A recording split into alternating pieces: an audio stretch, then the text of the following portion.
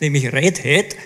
Und Robert Baumgartner und Franz Theissen werden uns über Open Source, DevOps und OpenShift erzählen.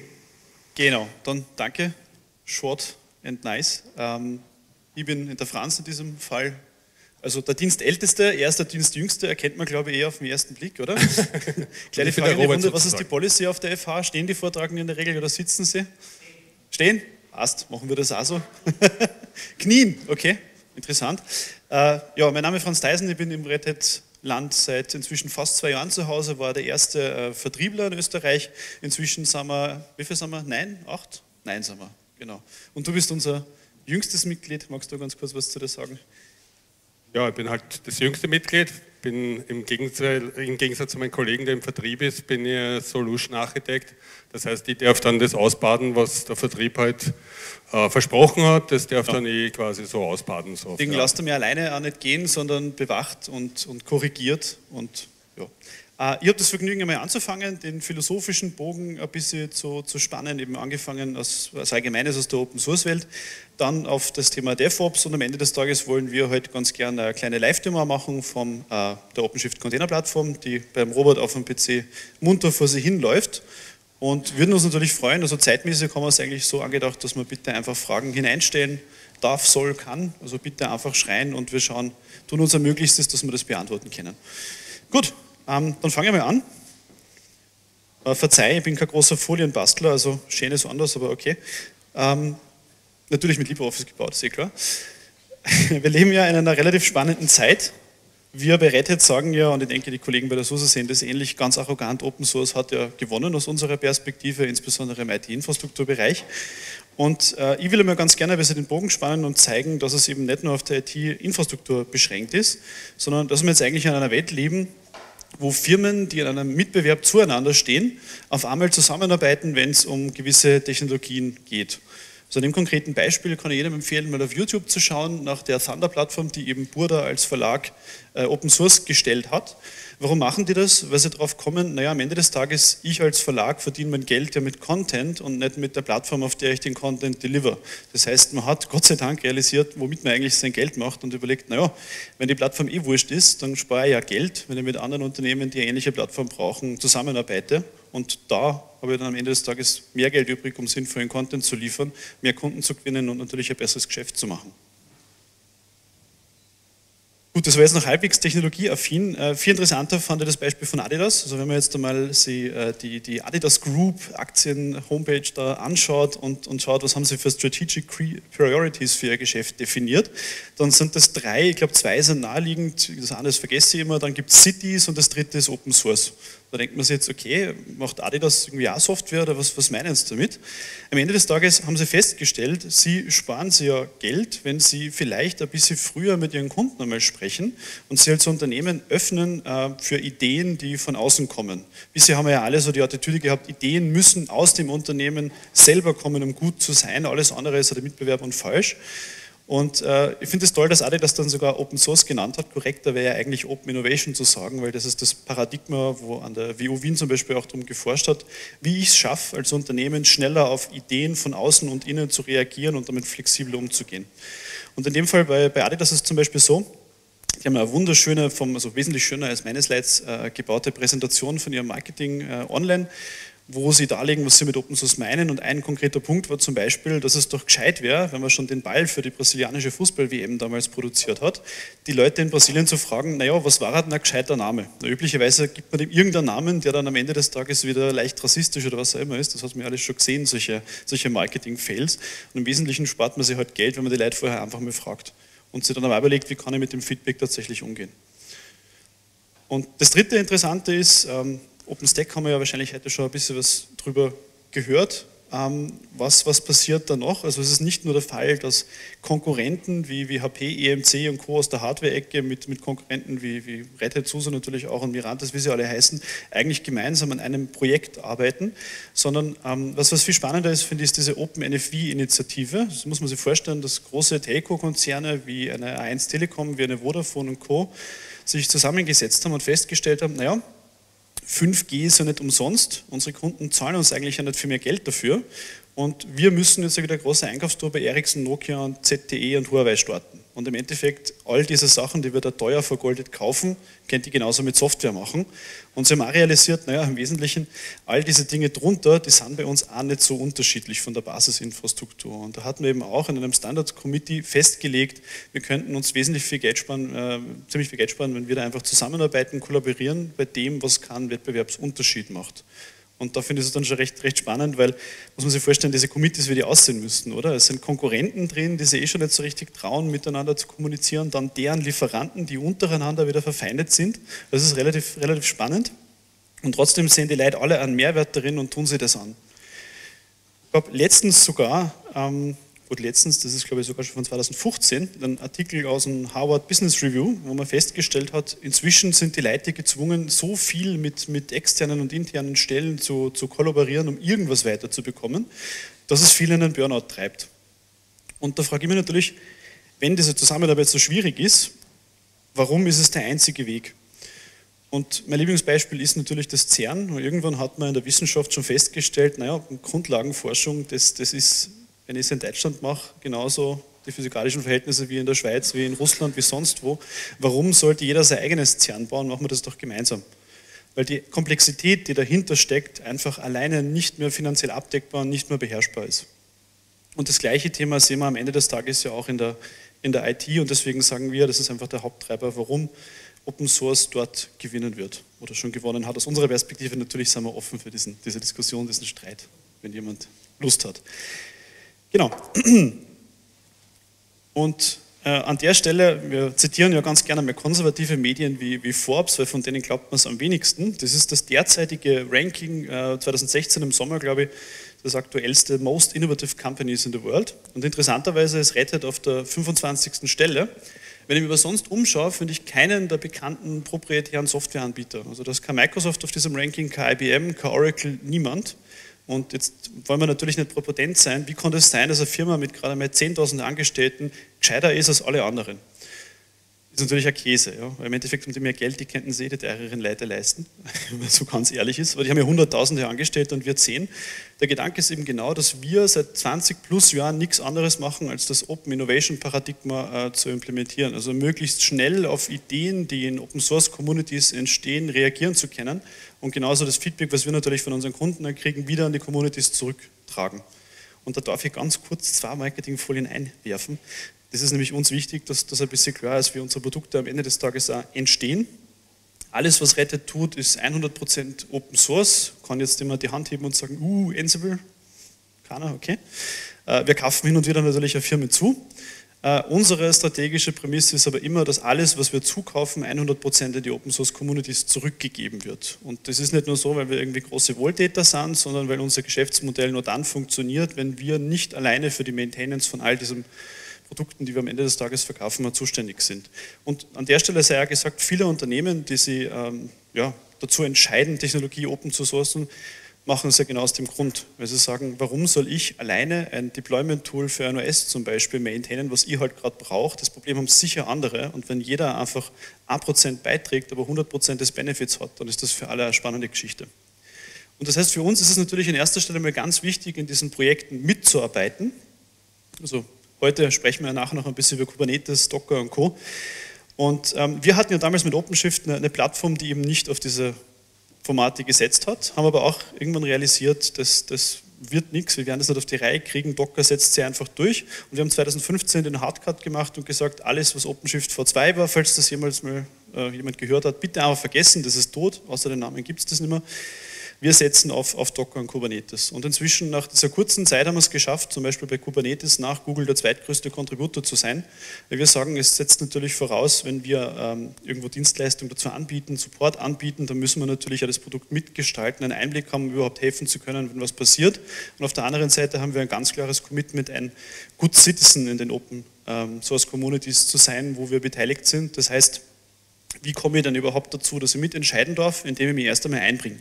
Das heißt, ich fange an, die, die weniger angenehme Arbeit zu machen, Bugfixes, Documentation richtig zu schreiben, das, wo eh keiner großartig Lust dazu hat, was aber gemacht kehrt und dann einmal zu zeigen, wir sind bereit zu investieren, Zeit aufzuwenden, dass das gut funktioniert, dass sich was weiterentwickelt und dann überträgt man uns natürlich auch gewissermaßen ähm, mehr Recht mitzusprechen. Also diese klassische Open Source Meritocracy, für die wir auch stehen.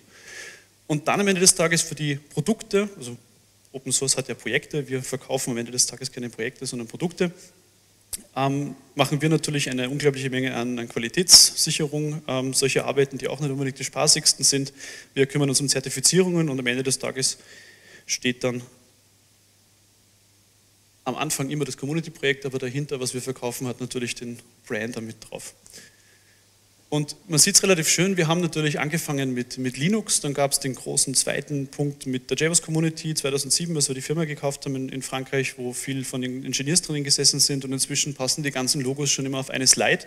Und ich glaube, das ist aus meiner Perspektive der Grund, warum Forbes uns auch auf dieses Ranking drauf gesetzt hat, weil wir es schon seit Jahrzehnten schaffen, wo Unternehmen heute nicht wissen, wie sie da hinkommen, wie sie auf externe Ideen schnell reagieren, schnell zum Markt kommen, einfach aufgrund der Tatsache, dass man eine coole Technologie irgendwo gesehen hat und sagt, hey, da könnt ihr was damit tun.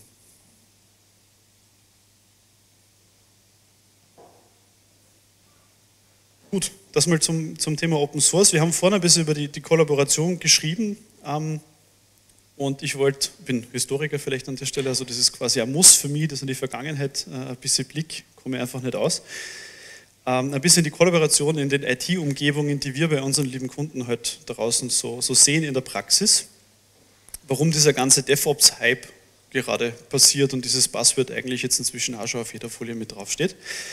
Ursprünglicherweise war es einmal so, die IT-Welt war noch relativ klein, äh, dass man sagen hat können, die Elektroingenieure, die damals die Mainframes gebracht haben in den 60er Jahren, die haben sie alle gekannt. Das waren vielleicht drei Leute in einem Zimmer und wenn einer was gebraucht hat, hat man gesagt, du kannst du schnell. War relativ trivial.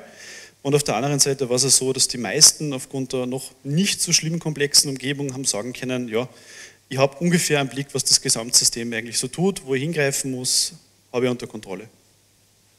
Wie wir alle wissen, die IT hat sich seitdem ziemlich stark verändert. Das heißt, was wir gesehen haben, war einfach äh, ja, extreme Nachfrage nach mehr Computerisierung, mehr Automatisierung, die irgendwo mit Computern zu tun hatte. Und das hat natürlich viele Dinge komplexer gemacht. Das heißt, am Ende des Tages, ich bin nicht ausgekommen, ich habe mich irgendwo spezialisieren müssen. Nicht, weil ich gesagt habe, der Rest ist mir wurscht, sondern weil ich gesagt habe, ich kann es einfach nicht mehr anders. Also ich habe selber mal was anderes gemacht. Ich habe mir Unternehmen beraten, die ihre Lizenzkosten nicht unter Kontrolle hatten, wie man aus solchen Audits rauskommt.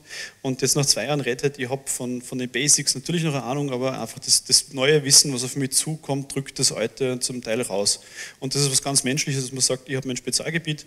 So hat man die Organisationskulturen auch aufgebaut. Er hat gesagt, wir haben eine Netzwerkabteilung, wir haben eine Storage-Abteilung und wir haben eine, weiß ich nicht, Betriebssystemabteilung, was auch immer, je nachdem, wie groß mein Betrieb eben war. Und Sie sehen schon, man baut sich dann eben seine kleinen Spezialhäusern. Und was ist am Ende dieser Kette nach, nach ein paar Jahrzehnten passiert? Man hat sich so weit spezialisiert, dass man eigentlich mit seinem Spezialgebiet der Einzige war, der noch gestanden ist. Das heißt natürlich, irgendwo nachts, wenn es darum geht, wir machen irgendeine Migration, dann hat man natürlich anzutreten und da zu sein, weil es kennt ja was sein, was einen betrifft. Und das führt natürlich auch dazu, ähm, dass immer mehr Menschen einfach irgendwo in den Burnout getrieben werden, weil sie es nicht mehr schaffen. Also ich denke, das ist eh halbwegs gut äh, untersucht in der IT, ist einfach die ja, kann ich auch bestätigen, die Workload ist sehr, sehr hohe und die meisten Leute kommen mit 40 Stunden halt einfach nicht aus und viele treibt das halt nervlich, nervlich runter. Weil einfach niemand mehr da ist, der, der sie ersetzen könnte. Was den Unternehmen auf der anderen Seite natürlich auch nicht gefällt, muss man auch dazu sagen. Und aus, aus dem heraus äh, sind wir halt leider bei, bei vielen Unternehmen, egal ob das kommerzielle sind, ob das eher Startups sind oder ob das, ich sage mal, äh, äh Government Entities sind, ist es völlig wurscht ähm, oft in, in, der Situation, wenn man es auf den, auf den Bildern da schön sieht, ähm, ich kapsel mir natürlich bewusst ab, wer auf anderen Abteilungen was immer zahlen und sagt, du, ich habe meinen mein Job eh gemacht, jetzt mach du weiter. Geht mir nichts mehr an, das ist dein Problem. Ja? Und das ist natürlich nicht die angenehmste Situation. Und in der Welt reden jetzt alle von Digitalisierung.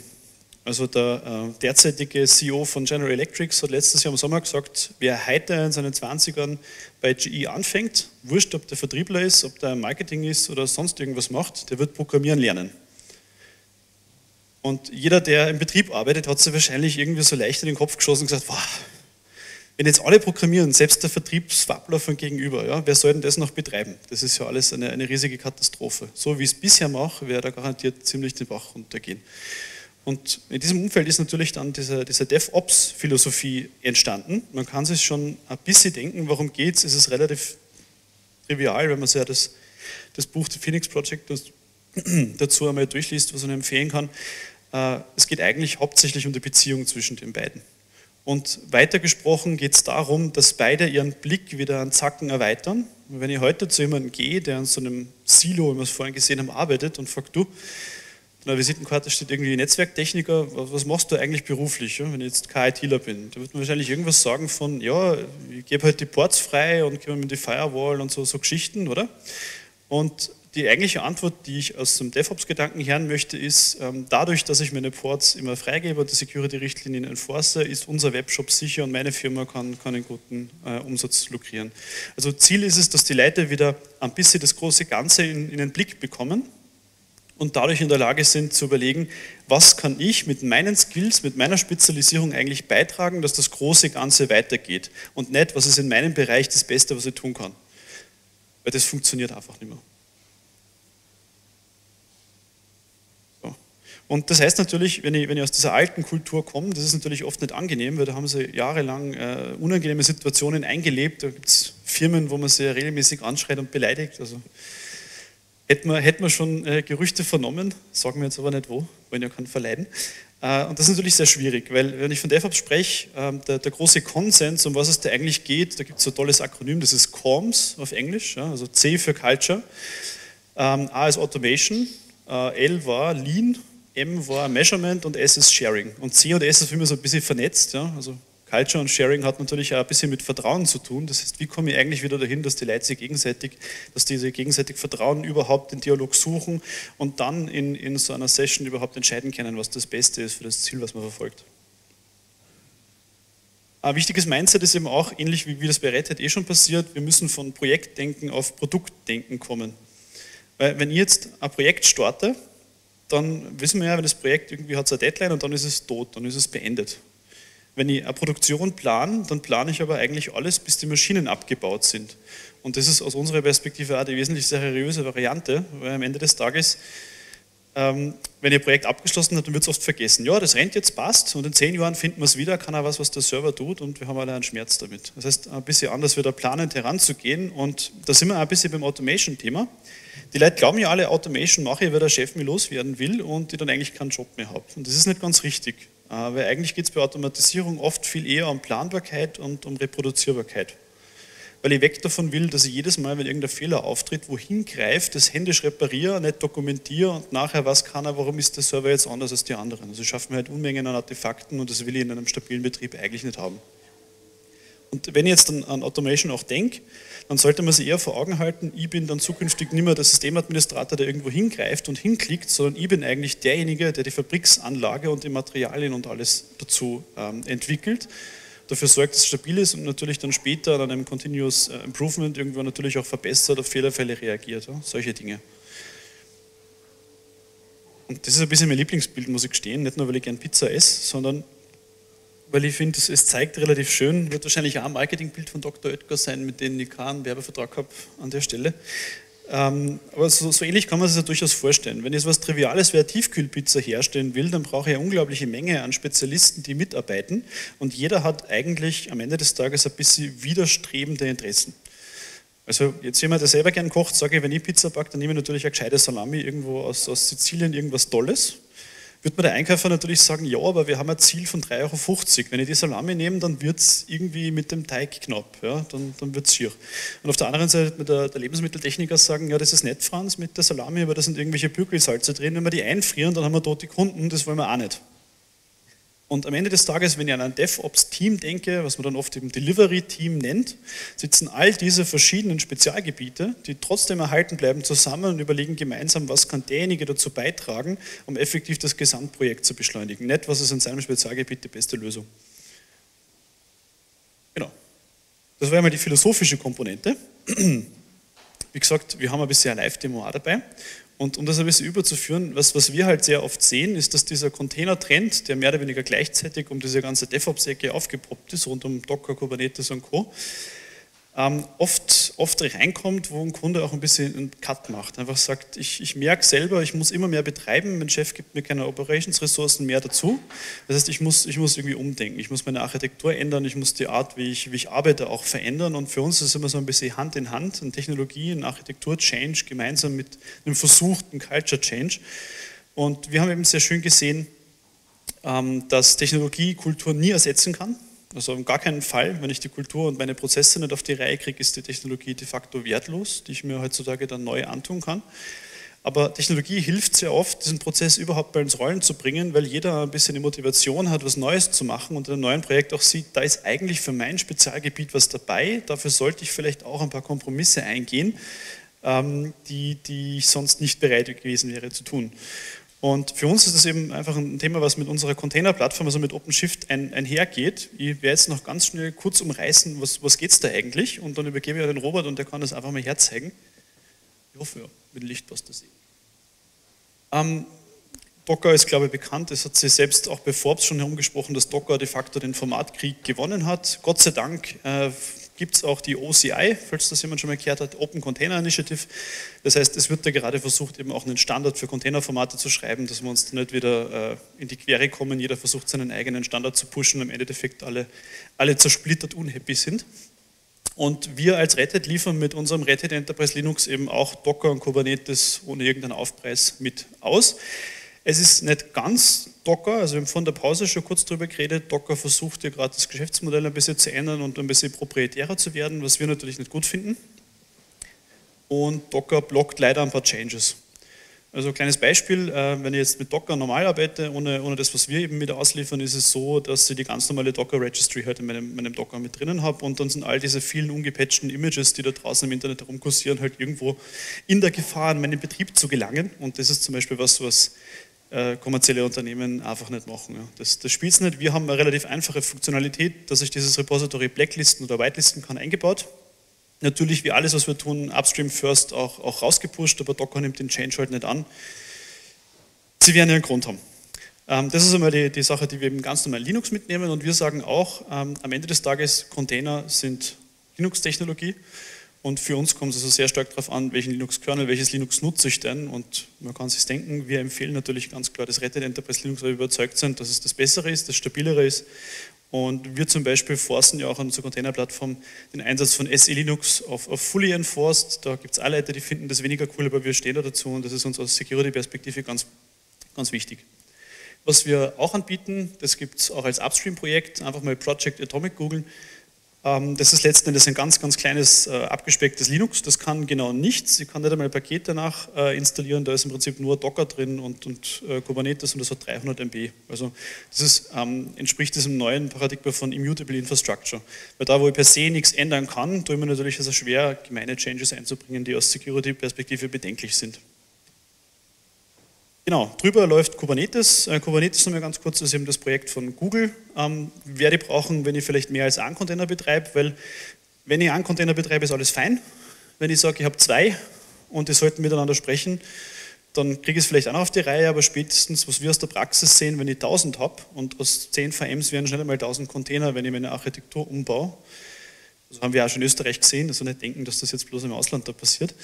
Ähm, dann habe ich ein Problem, weil 1000 Container händisch so zu pflegen, wie heute 100, 100 Server oder 10 Server pflegt, das ist einfach Menschen äh, nicht mehr machbar und da brauche ich eben Orchestration-Konzepte. Das kommt aus dem Kubernetes. Wir sagen, das ist Webscale, weil es kommt von Google und wenn Google damit auskommt, dann glaube ich, finden wir zumindest da im Land keinen, der Probleme kriegt. Aber gibt es auch Benchmarks online, also kann man sich gerne mal anschauen. Ähm, Networking ist geklärt. Äh, was mache ich zum Beispiel, wenn ich jetzt äh, für meine Applikation irgendwo noch persistenten Speicher brauche, also Sachen, die nicht weg sind, wenn der Container runtergefahren wird, neu gestartet wird. Das sind Dinge, die eben auch mit dem Kubernetes lösen kann. Und auf der anderen Seite, aus einer Betriebsperspektive, möchte ich natürlich auch sehen, dass ich weiß, ähm, ich jetzt 10 Container, habe ich 1000, wie viel RAM braucht ein Container, dass ich vielleicht einmal irgendwann neue Hardware kaufen muss, solche, solche Themen. Und oben drüber über diese beiden Projekte hat Reddit natürlich selber eine Menge entwickelt ähm, was auch im Projekt äh, OpenShift Origin natürlich Open Source ist, falls ihr das jemand einmal anschauen will, immer gern. Und zwar vor allem einmal gibt es ein Self-Service-Portal, ähm, in dem Moment, wo ich, wo ich äh, die Kollaboration von, von ähm, Entwickler und Betrieb ein bisschen automatisieren möchte, ist es natürlich gut, wenn jeder bis zum gewissen Grad selber tun und lassen kann, was er will, in vorher definierten Grenzen. Ähm, wir haben auf der anderen Seite die Möglichkeit, und das ist eines der cooleren Dinge, die wir dann gleich zeigen, mit, mit Source to Image dem Entwickler eigentlich komplett das drunter wegzunehmen, zu sagen, du lieber Entwickler, du kannst gut coden. Schreib dann den Code in den GitHub, schreib es in unser internes Repo und jedes Mal, wenn du eine Zeile Code veränderst, holt sich die Plattform automatisch den Code, baut ein neues Container-Image draus und setzt es in der Testumgebung in Betrieb, dass er sofort schauen kann und Feedback hat, der Code, den ich geschrieben habe, tut der, was er soll ohne dass der Betrieb dadurch zusätzliche Arbeit hat mit äh, VM-Provisionieren, irgendwelche Proxys anschalten, Netzwerk provisionieren, all diese Dinge, die halt Zeit kosten. Und das heißt, was, was wir damit machen, ist natürlich auch den Leuten ein bisschen die, die Angst zu nehmen, einmal zu experimentieren, insbesondere im Unternehmensumfeld, wo Experimentieren oft mit äh, hat nicht funktioniert, du bist gefeuert assoziiert wird. Diese Startup-Kultur ist ja da leider noch nicht so ganz durchgekommen in die klassischen Unternehmen. Und auf der anderen Seite haben wir uns natürlich sehr viel mit dem Lifecycle beschäftigt. Also gerade wenn ich jetzt in großen Entwicklungsprojekten arbeite, ist es ja so, dass ich dann relativ viele Stages habe. Ich fange irgendwo mal im Test an, dann geht es in Richtung, ähm, letztendlich fange mit Dev an, dann geht es in Richtung Test, Integration, Staging Production oder Pre-Production noch davor. Das heißt, ich muss mir überlegen, wie gehe ich zum Beispiel mit dem Container-Image um, wenn ich irgendwo im Test vielleicht noch eine nicht persistente Datenbank habe und dann in der Produktion habe ich halt meine teure Oracle Rack-Maschine stehen wie, wie gehe ich mit den Environment-Variablen um? Ja, wie kann ich das seriös von der Umgebung A auf, auf die Produktionsumgebung rüberbringen? All, all solche Thematiken äh, haben wir uns angenommen und an der Stelle halte ich einfach mal die Pappen und gebe dem Robert und du zeigst uns zum Thema so hast du was her. Den letzten Habe ich noch was? Noch. Entschuldige. Ja, genau, stimmt. Na, das sollte man noch zeigen. Ähm, wir sind wirklich von diesem Container-Thema überzeugt und äh, wir zeigen es auf der einen Seite daher, alle Produkte, die wir als, als Red so anbieten, auch aus der Middleware-Ecke, vom, ähm, ja, vom gemeinen ERP bis hin zu, zu Business Rules Management und Co., ähm, liefern wir in Container fixfertig für die Konsumation aus und auch alle unsere, unsere anderen Produkte, wie zum Beispiel API-Management, sind fixfertig als, als Container-Image verfügbar. Bei API-Management gerade so, dass es derzeit nur im Containerformat äh, lieferbar ist und, und nicht klassisch. Und äh, wir werden, na, geht auch schon klassisch? Du weißt mehr als ich. Okay, passt. Deswegen bin ich im Vertrieb. Äh, und bei uns ist es auch so, dass wir ähm, jetzt ja gerade überlegen, wie geht es mit dem Red 8 irgendwann mal weiter. Wir sind ja derzeit bei 7. Und ich habe das Glück gehabt, ein bisschen die Brainstorming-Session mal mitzubekommen und natürlich ist auch die Idee geäußert worden, warum baue ich mein Linux-Betriebssystem nicht wesentlich modularer und containerbasierter. Das ist natürlich noch ein weiter Weg in diese Richtung, aber diese Sachen sind diskutiert und nachdem REL ja für uns auch der Umsatzheilsbringer noch immer ist und ein großer Teil, denke ich, dass wir damit auch sehr offen zeigen, wie, wie überzeugt wir sind, wenn wir unsere Cash Cow, unser bestes Produkt im Stall sozusagen, das älteste, auch in diese, diese Richtung bewegen. Ja, und genau, das, das wäre jetzt, eh schon, wär jetzt eh schon dein Part. Dann Gut, dann werde ich es jetzt einmal übernehmen. Ähm, also ich habe hier vor ein bisschen was aus, der, aus, aus dem Magic UI herzuzeigen. Wir können aber das gleiche natürlich auch über die Command-Line machen, beziehungsweise falls jemand interessiert, kann ich auch die REST-APIs aufrufen. Ähm, ich habe jetzt nicht die komplette Doku da, aber ähm, nur mal zu zeigen, wie, wie sowas ausschauen kann. Ähm, vielleicht zur Umgebung. Ich habe hier meinen Desktop-Rechner, auf dem ich eben ein, virtuelles Image habe. Ähm, wir unterscheiden im, im, im, im OpenShift, unterscheiden wir zwischen sogenannten Masterrechner und den Worker Nodes. Der Masterrechner ist also der, der die Konfiguration über, seine gesamte, über sein gesamtes Environment hat und der, die Nodes sind dann dort, wo die Container laufen, die die Arbeit ähm, durchführen. Und in der kleinsten Einheit kann man Ah, okay. Ich untermale ja, dich na, nur. Nein, lass das, lass das weg, da, das, da ist viel zu viel drauf.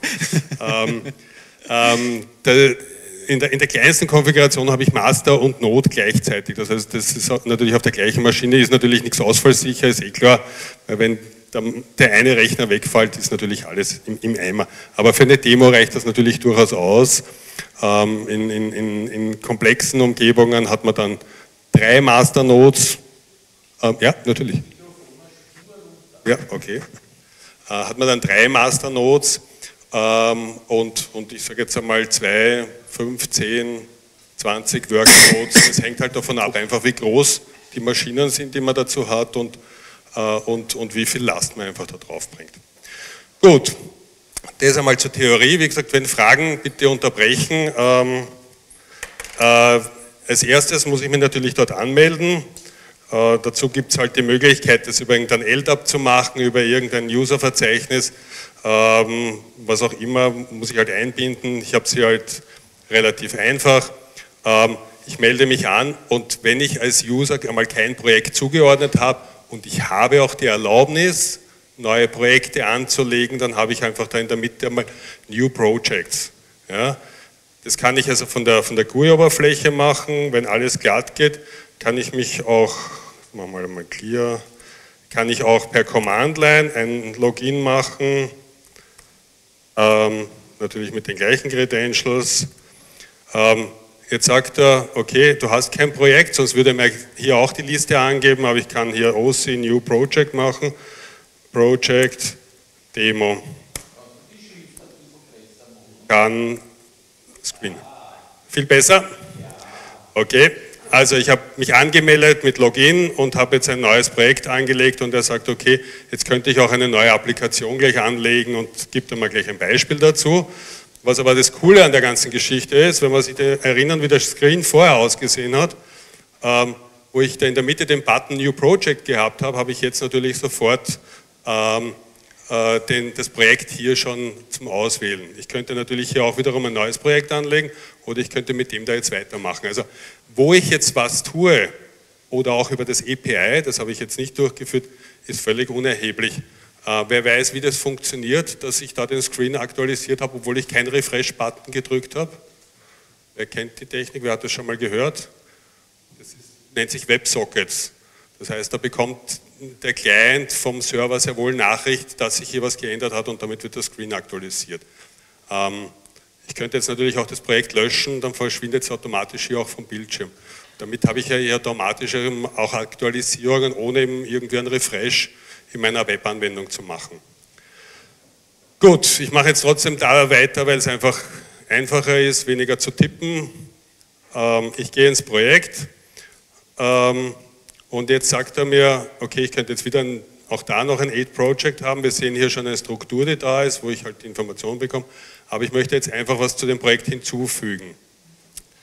Ähm, was jetzt hier erscheint für Möglichkeiten, was ich zu meinem Projekt hinzufüge, das ist natürlich normalerweise abhängig von dem, was mir mein Rechenzentrum, was mir mein, mein, meine Umgebung zur Verfügung stellt. Also wir sehen das natürlich, zwar der Entwickler kann alleine sich auch so eine Umgebung aufbauen, dann hat er das zwar alles drinnen, aber natürlich in einer sogenannten DevOps-Umgebung wird Operations im Test zur Verfügung stellen, was er denn eigentlich vom Unternehmen, was er von, von, von der IT, was hier an Möglichkeiten zur Verfügung stellen, äh, was ihm die zur Verfügung stellen.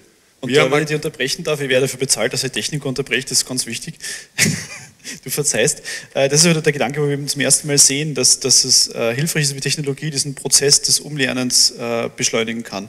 Weil als erstes würde ich natürlich in einer konkreten Umgebung jetzt anfangen. Ich gebe mal mit einem Basis-Image her und der Entwickler kann komplett alles Self-Service machen, wo ich als Betrieb weiß, das kann ich automatisiert und relativ einfach ohne zusätzlichen Effort auch unterstützen und supporten. Und wenn ich mir dadurch Zeit freigeschafft habe, kann ich dazu beginnen, immer mehr, immer mehr Stacks quasi zur Verfügung zu stellen, mit denen die Leute im Self-Service arbeiten arbeiten zu können, mit einem Pace, wo ich auch als Unternehmen irgendwo ähm, in, ja, klarkomme, wo ich dann auch als Betrieb nicht sage, ich komme in den Burnout, weil ich jetzt 30 verschiedene OSs betreiben muss. Und da sieht man halt oft Self-Service, können die Leute sofort was machen. Äh, ansonsten müssen sie den klassischen Weg gehen, das heißt zwei Wochen warten, bis so ein VM kommt, wo der Applikationsserver installiert ist und dann lernen halt viele Leute auf einmal doch Standards lieben, weil es eben sofort passiert und nicht nach drei Wochen.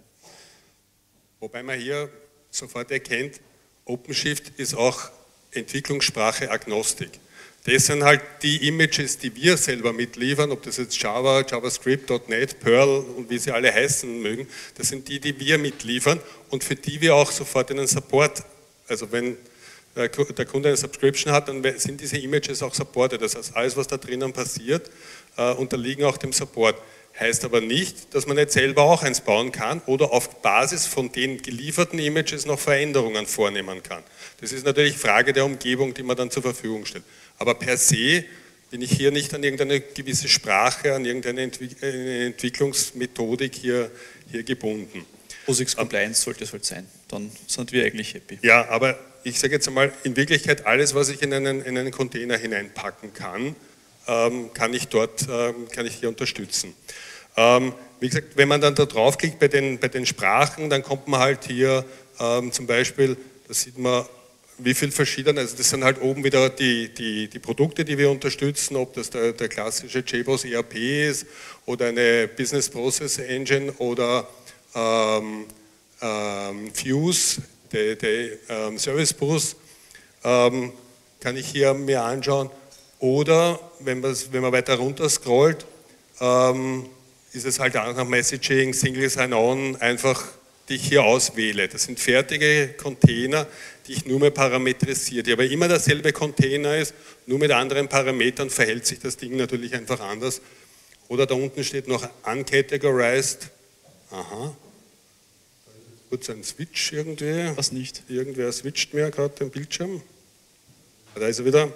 Ähm, da ist zum Beispiel Logging, da sind Metrics, da ist ein Nexus, wer also Software entwickelt, Nexus als, als ähm, ähm, Software Repository ist da, ähm, da ist das ähm, Freescale, also unser API-Management, das heißt Gateway ist einfach da, ich brauche es nur einfach mehr starten. So, wie fange ich jetzt an, wenn ich jetzt eben irgendwas entwickle, als Entwickler, von dem ich mir jetzt nicht um meine Docker-Umgebung nicht mehr überlegen möchte, wo muss ich meinen Container bauen, ähm, sondern der wird mir einfach zur Verfügung gestellt. Ähm, und eins der, der, trivialsten Sachen wäre zum Beispiel JavaScript. Ich weiß nicht, wer, wer JavaScript einmal entwickelt hat, ähm, beziehungsweise auch zum Vorzeigen, weil ähm, das, geht, ne? das, Building relativ schnell geht. Ähm, da bekomme ich also nur einfach einen einzelnen Container, wo ich mein JavaScript da drinnen betreiben kann oder sogar schon eine Kombination. Das heißt, es sind in Wirklichkeit dann zwei Container. Das ist schon ein Template, das aus mehreren besteht, wo eben ähm, das äh, JavaScript drinnen läuft und eine MongoDB, einmal mit Persistent Storage und einmal mit Ephemeral Storage, also mit flüchtigen Storage. Zur Demo reicht vollkommen aus, dass wir das auswählen. Ähm, er sagt oben gleich, äh, welche Images er dann verwendet. Und in dem Fall bietet er mir hier eine Latte von Parametern an. Wie gesagt, alles customizable, alles mit Vorgaben. Ähm, das beginnt eben da.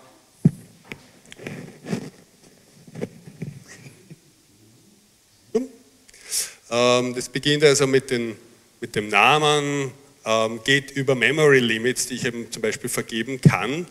Wie viel möchte ich dem eigentlich meinem Projekt zuordnen? Und das Wichtigste ist eben hier meine, meine URL, wo meine Source liegt. Das heißt, der Entwickler entwickelt seine, seine Source, wie er auch immer das machen möchte, mit welchem Tool er es auch immer machen möchte. Und in dem Fall ist es halt da jetzt auf GitHub hochgeladen. Aber wir können einfach die URL nehmen und hoffentlich in einem zweiten Fenster öffnen und sollte das LAN funktionieren. Ähm, dann sehen wir natürlich hier das Projekt auf GitHub. Das könnte aber auch ein GOG-Server oder ein, ein GitLab oder was auch immer sein, das ich eben halt erreichbar haben muss aus dieser, ähm, dieser OpenShift-Umgebung, klarerweise. Und da habe ich einfach die, die Server.js, das ist eben meine, meine Node.js-Source, die aber nichts eigentlich weiß, dass sie auf OpenShift äh, läuft, beziehungsweise da ist auch das Package, wo drinnen steht, was brauche ich denn eigentlich? Das ist halt Basis von, von Node.js, da muss ich halt noch so ein Package-File dazulegen. Was brauche ich denn eigentlich für Packages von Node.js? Das ist eigentlich, das ist der Pointer, den ich, den ich habe auf meine Software. Mehr brauche ich nicht. Wie das dort reinkommt auf mein GitHub oder GitLab oder wie gesagt auf mein, mein, mein Source-Verzeichnis, äh, mit welchen Tools entwickelt wird, egal. Mit welcher, welcher Sprache theoretisch, also ähm, ist, ist, ja, ist ja egal. So. Das ist ja auch der Punkt, wie von Stein angesprochen hat, also am Ende des Tages, ob, ob wir jetzt als DevOps Delivery Team Entwickler haben, die sehr nahe noch vielleicht im Betrieb sind und in der Lage sind, da wesentlich mehr mit den Parametern mitzugestalten, oder ob ich sage, na, das sind sie skillmäßig eher nicht, kann ich mir entscheiden, will ich, dass sie einfach nur in GitHub ihren Code committen und dann ein automatischer Bild passiert, wo sie Feedback kriegen, sie von dem Rest überhaupt nichts sehen, also inklusive diesem, dieser, dieser Web-GUI überhaupt nichts sehen, oder will ich ihnen da mehr Einfluss geben? Die Wahl, wie ich das mache, liegt rein bei mir und am Ende des Tages, wie das Skill in meinem Team vergeben ist. Die Freiheit habe ich. Das genau, das ist ja zu schauen, welche Skills haben wir, wie kombinieren wir sie am besten, um das bestmögliche Ergebnis als Delivery-Team zu erzielen. Ähm, da gibt es eben dann für die Datenbank natürlich, gibt es eben so Parameter, wie, wie sollte meine Datenbank heißen und wie soll mein User heißen und mein Passwort heißen. In dem Fall kann ich das selbst versorgen. Das kann natürlich auch sein, ähm, also ich, man sieht, die Felder sind alle da, ich könnte sie jetzt ausfüllen. Wenn ich sie nicht ausfülle, wird es automatisch generiert und wird in dem zweiten Container injected. Ja? Das heißt, die Applikation hat gar keine Ahnung mehr, wie sie zur Datenbank kommt ja, sondern sie hat nur einfach einen Parameter, wo es die Datenbank weiß, wo es den User weiß und das Passwort weiß. Ob das dann am Ende des Tages wirklich eine MongoDB oder MySQL zum Schluss ist in Produktion oder eine Oracle-Datenbank, muss dem Projekt völlig wurscht sein. Ja? Damit schaffe ich aber eben diese komplette, ähm, ähm, diesen kompletten Cycle zwischen Entwicklung und Produktion zu schaffen. Ja? Wenn ich es nicht versorge, bleibt es einfach so da was ich einfach mache, ich sage einfach create. Was passiert jetzt? Er sagt mir jetzt da, hättest du das ins Kommando eingegeben, weil das die folgenden Kommando, ich gehe aber gleich einfach zur Übersicht äh, über. Ähm, wenn wir uns das jetzt anschauen, ähm, wir sehen, er baut zwei Container oder er startet zwei Container. Der MongoDB ist schon gestartet und ist auch schon up and running. Wir haben ihn kurz einmal gesehen, er war grau und dann ist er, ist er blau geworden. Ähm, und da auf der zweiten Seite, so jetzt bräuchte ich meinen Pointer.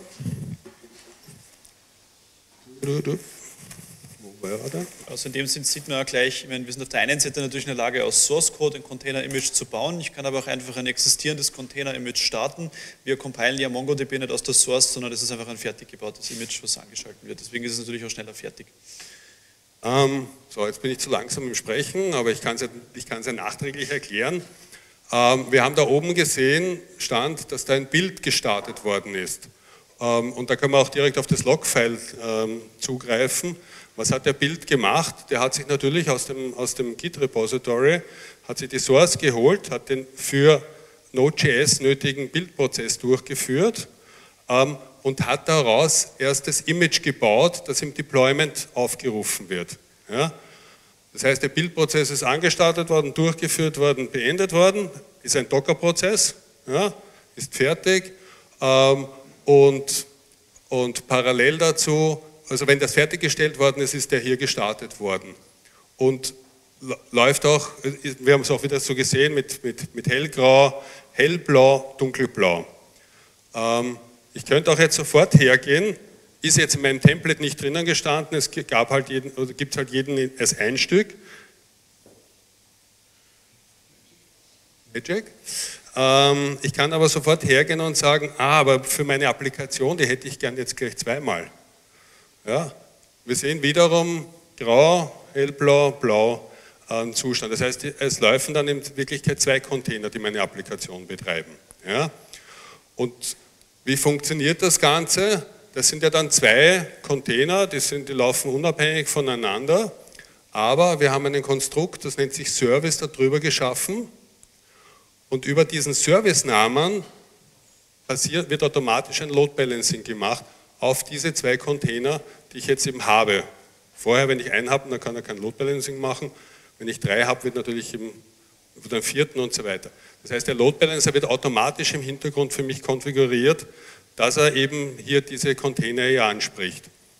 Braucht nichts dazu tun. So, und dann, das haben wir heute schon ein bisschen gehört beim, beim OpenStack, das heißt, diese, diese Container laufen in einem im sogenannten Overlay-Netzwerk drinnen. Die sind jetzt von außen nicht zu erreichen. Ja, die kann ich nicht ansprechen, habe keine Chance darauf zuzugreifen. Der Service gliedert es nur zusammen, aber wir haben da oben noch eine Route definiert. Ja, und die Route, die kann ich dann ansprechen. Die führt mich dann eben zu meinem Service hin und dort habe ich jetzt meine Applikation. Die Applikation ist nicht genial, es ist aber auch nicht Sinn und Zweck, jetzt die Applikation vorzuführen. Die Applikation hat nur einen einzigen Zweck, diese Seite darzustellen und daher unten steht ein Page Counter drinnen. Und wenn ihr natürlich das mehrmals äh, auswählen, wird halt der Page Counter hochgezählt und der Page Counter wird in die Datenbank geschrieben damit wir eben eine Verbindung haben. So, was, gibt es für, für Kleinigkeiten, die da im Hintergrund abgelaufen sind? Ohne dass ich jetzt als Entwickler davon gewusst habe, weil ich habe ja nur eine Applikation geschrieben, die eine Indexpage aufruft und die den Page Count in die Datenbank reinschreibt, äh, um, um hier zu aktualisieren. Ähm, wenn man sich das jetzt anschaut, wir können jetzt natürlich einmal dahergehen, wir können uns einmal das Logfile anschauen ähm, und natürlich runterscrollen. Da sehen wir als erstes, dass die Source da geholt worden ist, also ein Cloning gemacht worden ist und dann ist ein ganz normaler äh, Node.js-Bildprozess gemacht worden. Irgendwann einmal zum Schluss, da unten, ist das Image, was er eben jetzt erzeugt hat mit, dem, mit, dem, mit diesem Bildprozess, ist weggeschrieben worden. Mit dem Namen Demo Node.js MongoDB Examples Latest. Mit dem ist es in, die, ins Repository hineingeschrieben worden. Merken. Wenn wir uns ähm, wenn wir uns weitere Details da anschauen, dann sehen wir natürlich da auch genauso, ähm, ja, wie lange das gedauert hat, bla bla bla, von wo er die Source genommen hat, in welches Image, also das steht natürlich da genauso drinnen fest. Wie gesagt, ich kann hier auch Environment-Variablen vergeben, die natürlich eventuell auf meinen Bildprozess ähm, Einfluss hätten. Ja?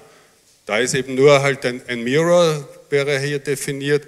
Ich kann natürlich andere Environment-Variablen, die halt auf dieses Image Einfluss. Aber das Image selber ist völlig agnostik von der, von der Applikation, die ich baue. Solange es eben eine Node.js-Anwendung ist, jede beliebige Node.js-Anwendung, die syntaktisch richtig ist, kann ein Bild bauen. Wenn die natürlich nicht richtig ist, bricht der Bildprozess ab, er, er publisht kein, kein Image hinein äh, und damit passiert nichts. Ja? So, wenn wir, wenn wir dann zum Deployment gehen, zur Deployment-Konfiguration gehen, ähm, Konfiguration,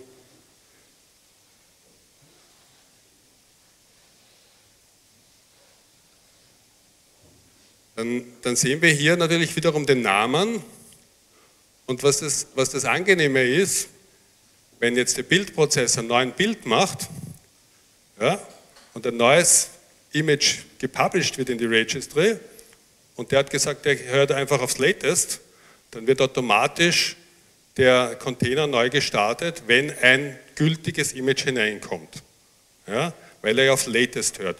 Das will man natürlich vielleicht in einer Produktionsumgebung nicht, da wird man nicht auf Latest hören, sondern wird man vielleicht auf einen anderen Tag hören, vielleicht auf den Tag Brot oder was auch immer was vereinbart ist. Und nur wenn ein Image den Tag Prod bekommt, dann wird es eben auch, ähm, dann wird es eben auch in, die, in die Produktion übernommen.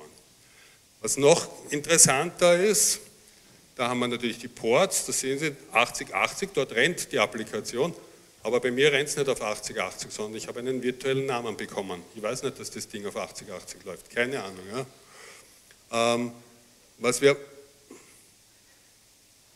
Nimmt zu, oder? habe aber nichts berührt. Ähm, was wir aber auch hier haben, Readiness Probe und Liveness Probe. Ja, ähm, das können wir natürlich anschauen, ein bisschen genauer, wenn wir da auf Health Checks gehen.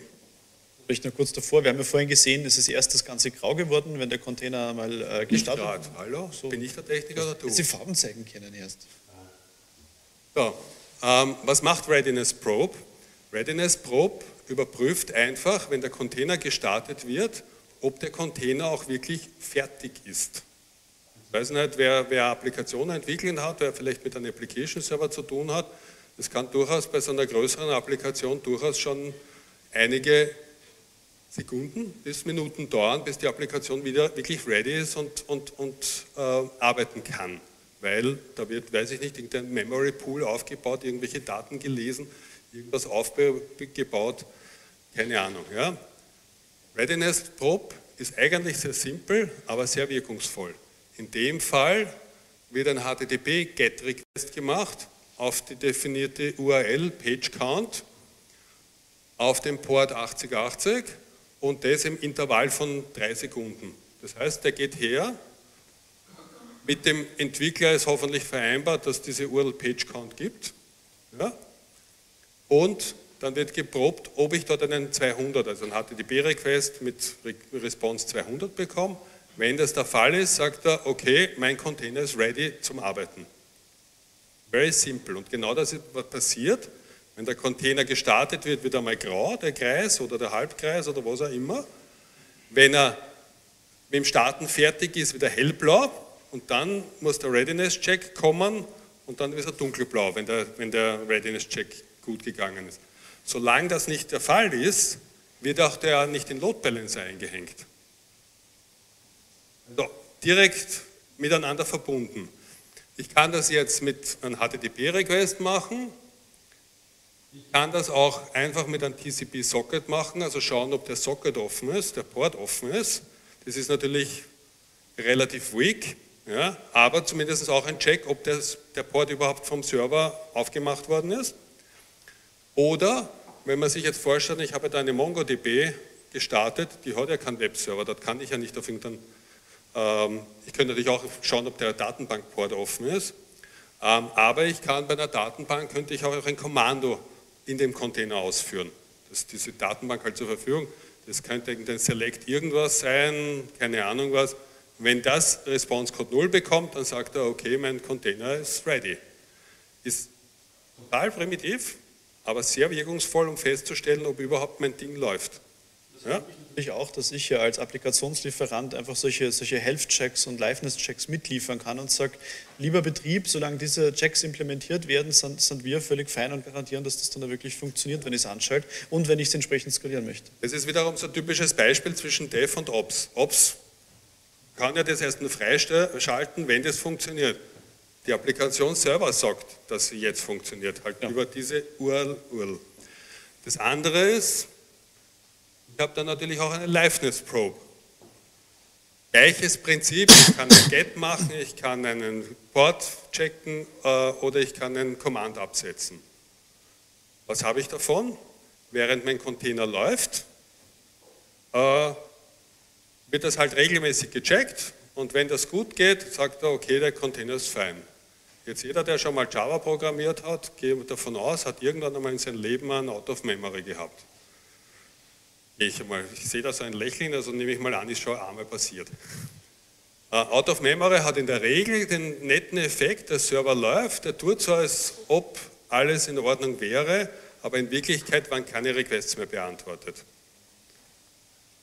Liveness Probe, wenn der Request nicht beantwortet wird, wenn ich keinen 200er zurückbekomme, wer, wer tippt, was passiert dann? Was macht, was macht OpenShift dann, wenn ein Container die Liveness Probe nicht überlebt? Er killt den Container und startet einen neuen Container. Ja? Gleiches ist übrigens auch, wenn ich einen, einen neuen Container gebaut habe. Also Bildprozess hat jetzt eine Source hergenommen ähm, und das ist fertig, der Bildprozess ist fertig gelaufen. Dann wird er, dann sagt er, ah, ich habe latest Neues, was Neues bekommen also, der, der läuft, ist ja zwar auch zu seinem Zeitpunkt latest gewesen, aber jetzt nicht mehr latest gewesen, muss ich ja den neuen Container starten. Sollte dann beim Starten irgendwas schiefgehen, sprich die Readiness Probe nicht erfolgreich sein, dann wird er der nie ins Netzwerk eingehängt, damit wird der andere nie ausgehängt. Der wird wieder gekübelt und der alte bleibt weiter laufen.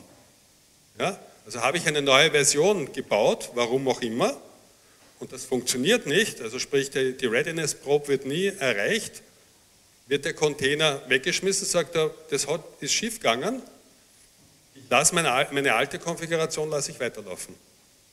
Ja, ist sehr effizient, natürlich.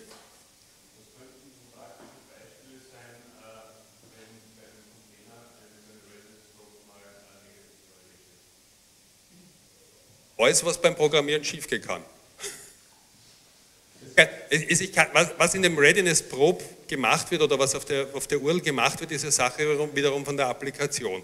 Die Applikation könnte ja jetzt hergehen und sagen, wenn diese, wenn diese URL aufgerufen wird, dann checke ich, ob meine Datenbankverbindung geht. Ja? Und wenn meine Datenbankverbindung nicht geht, dann ist ja meine Applikation nicht da, die kann ja nicht funktionieren.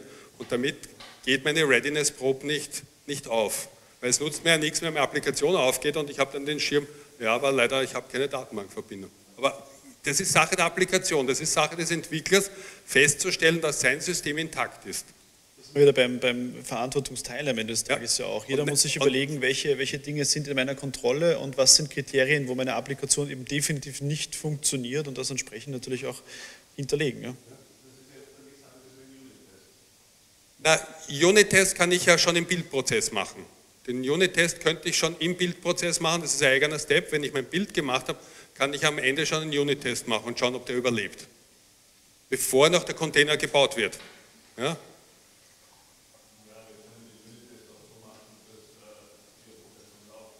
Ja, aber das, aber das läuft ja, das, das kann ich schon machen, bevor ich über, also Unit-Tests kann ich schon machen, bevor ich überhaupt meinen mein, mein Container baue äh, und in die Registry reinschiebe. Ja?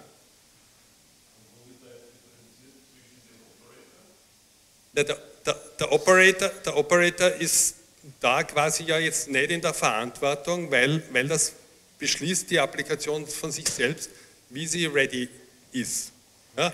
Der Operator hat natürlich noch was zu tun, weil es könnte sein, dass Pods überhaupt nicht gestartet werden können, weil ich äh, gar keine Nodes mehr zur Verfügung habe oder sowas. Dann äh, kann der Liveness-Test ja gar nicht stattfinden, weil der Container ja gar nicht gestartet wird. Ja.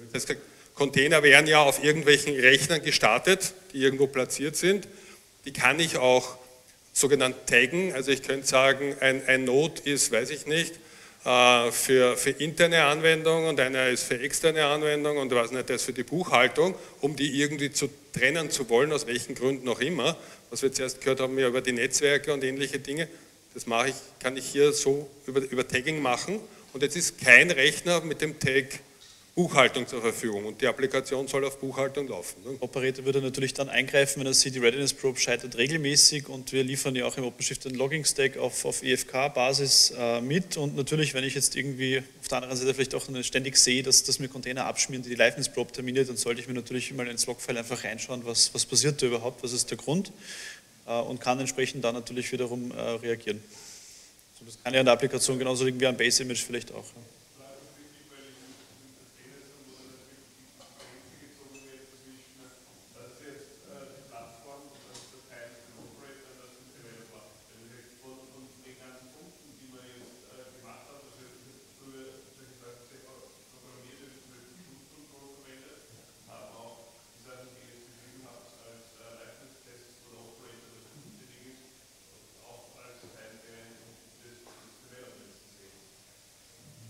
In, in, Dev, in DevOps gibt es ja diese klassische Trennung oder die wollen wir ja nicht mehr haben, dass diese Trennung ist, dass für der, der eine Zustand ist der andere zuständig. Weil das, was ich schon am Anfang gesagt habe, es ist ja auch klar, dass das Ziel, der Entwickler seine Software schreibt, die halt ein paar Features, wie halt, ich muss halt so einen Liveness-Check haben, ähm, ob das wie gesagt ein Command-Line ist oder eine URL, ist, ist ja dahingestellt, aber ich muss sowas haben, das ist Aufgabe des Entwicklers. Die Plattform bietet mir die Funktionalität dazu tun. Ähm, Aufgabe eines Operatings ist dann, das Image, was ich jetzt getestet, was ich durch die Entwicklungsstage, durch ein Teststage, durch eine Abnahmestage durchgegangen, dasselbe Image, das Image wird nie wieder verändert. Ja? Das wird signiert am Anfang, das geht dann irgendwann einmal zum Zeitpunkt X in Produktion. Dafür ist dann der Operator zuständig, diesen diesen Zeitpunkt oder weiß nicht, das Approval oder was auch immer dann dahinter steht, das zu machen. Aber das Image wird hier gebaut, wobei das Image ja auch aus zwei Teilen besteht. Es besteht aus dem Teil, das der Entwickler geschrieben hat, das Source. Das Basis-Image, auf dem er aufsetzt, das kommt ja von Operations. Ja, das ist ja letzten Endes auch das Schöne der Kollaboration. Die Methodik ja? ist die gleiche. Ob ich jetzt, wir haben natürlich jetzt die Development-Perspektive ein bisschen gesehen. Äh, wir haben jetzt gesehen, ich habe als, als Entwickler irgendwo was Neues geschrieben, will es in Produktion bringen oder mal testen, wie auch immer.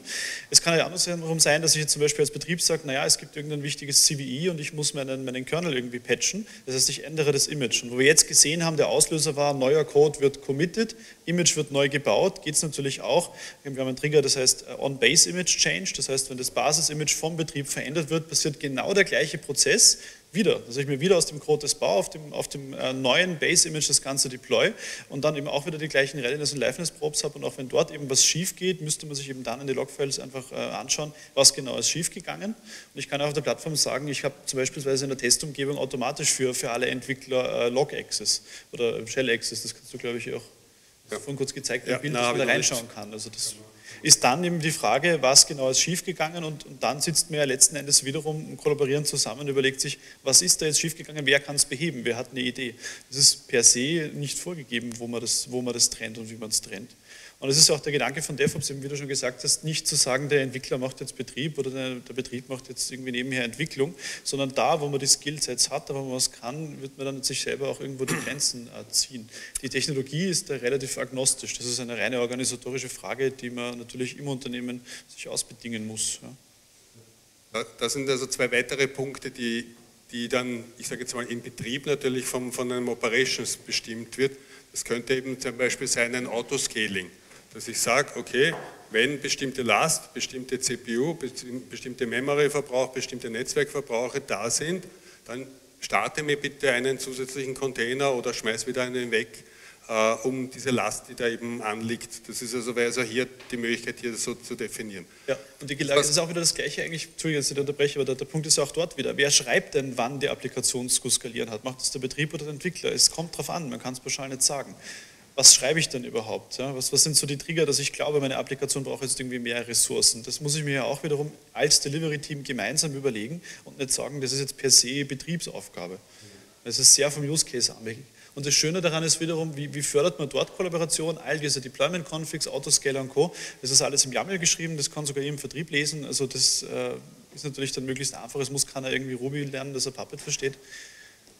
Ja, also wir haben das ja da im UI, aber es gibt da oben einen Button Edit YAML, da könnte ich das ganze YAML, wo einfach die Parameter halt hintereinander einfach ja. stehen, strukturiert, sortiert. Gleichzeitig ah. sind wir da auch wieder in der Infrastructure as a Code Welt, wo ich sagen kann, meine Deployment und Build Configs, ich muss nicht an der Plattform herumverwerken, ich muss kein GUI klicken, ich kann genauso meine Konfigurationen auch wiederum in einem internen Operations Git meinetwegen revisionieren und dadurch natürlich auch dauerhaft reproduzierbar machen, was ich an diesen Config-Files am Ende des Tages auch geändert habe dann natürlich auch immer besser, desto granularer ich das tue und in kleineren Inkrementen, desto besser kann ich natürlich auch nachvollziehen, was habe ich geändert, warum ist es kaputt gegangen und dann zu retracen, was war der Breaking. gibt also da unten steht auch dann halt so, wie, wie kann ich jetzt wieder ein neues äh, über das Command-Line-Interface, wie kann ich ein neues aktivieren per Command-Line-Interface oder er schaut eben auf ein Image mit dem Namen, mit dem Take Latest oder auch wenn ich hergehe hier im, im Editor oder eine neue, äh, eine neue Config einfach lade, von dem äh, dann wird ein neues Image gebaut. Ja? Das heißt, egal wo ich was ändere, da wird ein neues Image gebaut und dann versucht er das wieder zu starten, wiederum mit Readiness Check und so weiter und solange Readiness Check nicht da ist, äh, geht das nicht in Betrieb. Das heißt also, wenn man da irgendwas verkonfigurieren würde, der Readiness Check geht nicht, äh, dann sagt er, okay, ich habe das zwar jetzt gebaut für dich, ist nicht in Betrieb gegangen, das alte läuft weiter.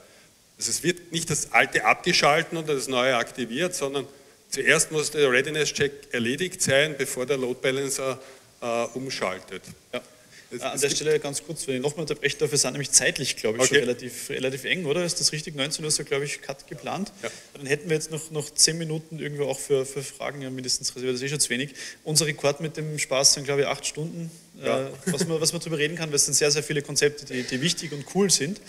Ähm, vielleicht noch am Ende, wer, wer macht denn sowas? Also wir haben ja jährlich unser Rettet Forum und da herzlich auch nochmal die Einladung, wenn wir das dieses Jahr wieder machen, bitte einfach kommen, das kostet nichts. Ähm, als ich angefangen habe, hat die Raiffeisen darüber gesprochen, was sie mit OpenShift macht. Letztes Jahr war es die erste Bank. Ähm, wir haben da relativ viele, die das in der Praxis auch schon machen. Ich glaube, für die Linux-Wochen in Wien hat sich auch jemand angesagt, OpenShift in Produktion aus, aus Österreich, der da ein bisschen Erfahrungsaustausch äh, ja, machen möchte. Und deswegen auch herzlich nochmal dann die Einladung, dorthin zu kommen, mit den Kollegen direkten Kontakt aufzunehmen. Ich knall jetzt noch ganz schnell den Monitor, weil das würde ich noch gerne loswerden. Lass mich, das kurz noch, lass mich das kurz noch, noch ergänzen, was ich zuerst angesagt habe, wo ich gesagt habe, die, die User-ID von, von, der Datenbank, die sind ja in der Datenbank quasi festgelegt worden. Die MongoDB hat halt User und Passwort und da stehen sie als Environment-Variable, aber man sieht sie nicht. Ja? Also ich sehe sie so jetzt in meinem UI, sehe ich sie nicht wie tatsächlich User-ID und Passwort von der Datenbank, weil sie als sogenannte Secrets übergeben worden sind. Ja. Das heißt, ich kann zwar im Container darauf zugreifen, wenn das aber in Produktion ist, hat natürlich der Entwickler auf den Container natürlich keinen Zugriff. Vielleicht hat er aufs Logfile Zugriff, wenn er, wenn er Glück gehabt hat, aber, aber er hat auf den Was? Container selber keinen Zugriff und auch nicht auf diese Secrets, User-ID und Passworts und ähnliche Dinge, die zwischen den Containern automatisch vereinbart werden. Ja, damit schaffe ich ja diese, diese ganze, weil ich ja lauter Microservices baue, die alle miteinander reden sollen und ich übergebe das als eben als Secrets und kann damit ähm, diese, diese Abhängigkeiten jetzt, äh, auflösen, ohne dass, dass jemand darauf einfällt. Auch der Operator, wenn der jetzt nicht entsprechende Rechte hat, wird das auch nicht sehen. Ja. ja. Und ganz, ganz zum Schluss, was wir noch gerne mitgeben würden, das können wir ja gerne noch einmal ausschicken, weil Abschreiben ist, glaube ich, lästig. Äh, seit letztes Jahr, also quasi Geburtstag, äh, gibt es ja für jeden für, für private Nutzung ein Reddit Enterprise Linux äh, gratis unter developer.reddit.com zum Runterladen. Und wir liefern dort das Container Development Kit hinein. Das hat der Robert am Ende des Tages auf seinem Computer laufen. Das habe sogar ich wiederum als Vertriebler geschafft, auf meinem PC zu installieren und dadurch nochmal bitte einfach runterladen, anschauen, ein bisschen herumspielen damit. Wird uns freuen. Es gibt ein Gratis-Training online unter dem Link. Also ich hoffe, das wird dann noch ausgeschickt, dass Sie ein bisschen spielen können. Und wir sind natürlich gerne für jedwede Art von Fragen zur Verfügung. Und sagen wir Danke fürs Zuhören zu der späten Zeit.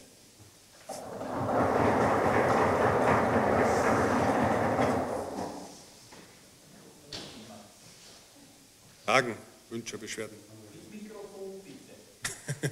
ah ja, stimmt. Wer will?